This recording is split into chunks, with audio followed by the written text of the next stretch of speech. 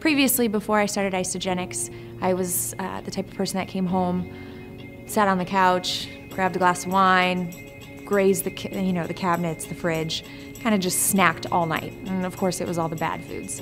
Um, and I was gaining weight, a lot of weight, and not realizing it, and, and felt comfortable still.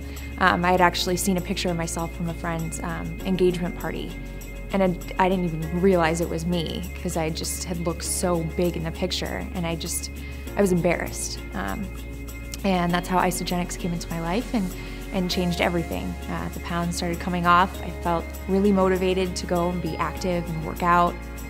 You know, I, I wanted to change my life and I wanted to change the way that I looked, both um, on the outside, but then I wanted to change myself in the inside. And I feel like the IsaBody Challenge, that's what it's about. It's not just about, you know, your physical weight loss challenge, it's about overcoming those goals that you set for yourself.